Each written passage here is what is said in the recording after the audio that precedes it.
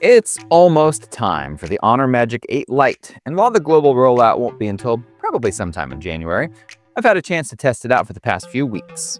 In short, it's a battery life champ with great mid-range performance and a massive 7,500 mAh battery that lasts easily three days, plus a durable body that's IP69K rated and even features 2.5 meter drop protection built in. Of course, it's also got a nice looking OLED display that adheres to most of Honor's best practices. That means it uses DC-like dimming above 20% brightness and uses very, very low modulation during that time. This is Honor 400 Pro levels of low modulation, and I absolutely love what I'm seeing here. Below 20% brightness, it switches to 3840 Hz PWM dimming with, again, relatively low modulation. As with most Honor phones, this is a pseudo DC-like and PWM hybrid, which means deeper drops at each refresh interval and consistent pulses in between that smooth things out.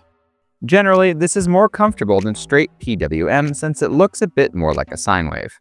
Now, for the downside, as you probably have guessed from several other recent phones, is that it dithers. Right on the spec sheet, you'll see that it says 10-bit display with an asterisk.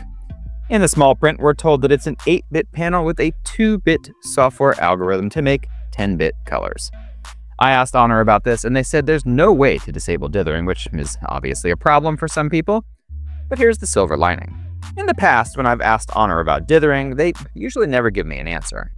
This time around, they asked me why I was inquiring about dithering and why it's an issue. That right there gives me hope that maybe, just maybe, we could see Honor add yet another eye care solution to its fanciful repertoire of options to disable dithering in the future.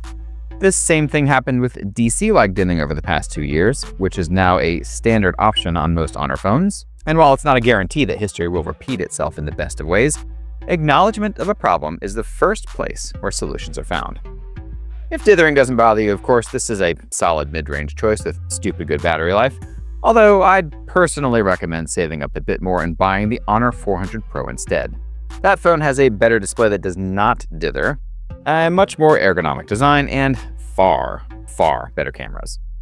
If you enjoy my content, please leave a like and consider subscribing to the channel. Thanks so much for watching, and I'll see you in the next one.